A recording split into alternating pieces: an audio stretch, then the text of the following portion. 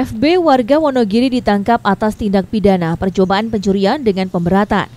Dari aksinya itu tersangka menggondol dua sepeda motor milik korban di dua TKP berbeda.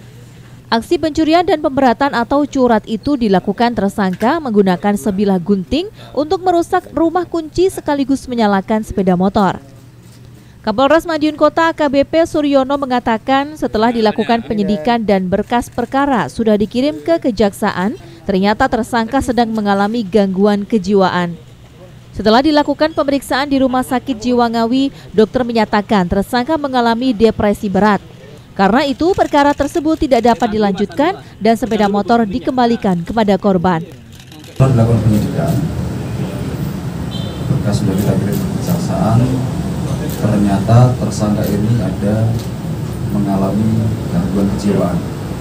Kemudian kita lakukan pemeriksaan kejiwaan di dokter, ahli jiwa di rumah sakit Ngawi. Hasilnya adalah mengalami depresi berat.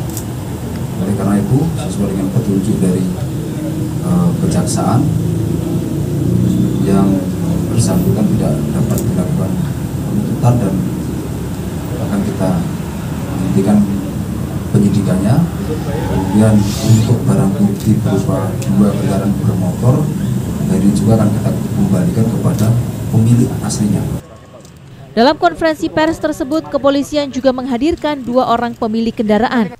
Pemilik kendaraan merasa senang lantaran kendaraannya dapat kembali.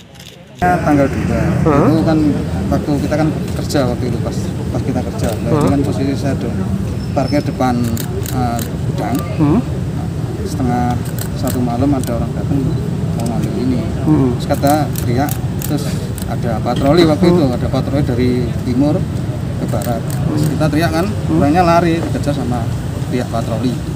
Intinya terus tangkap Sementara itu sesuai pasal 41 ayat 1 KUHP, orang-orang yang sakit jiwa atau ODGJ atau lemah mental tidak dapat dimintai pertanggungjawaban pidana atas tindak pidana yang dilakukannya.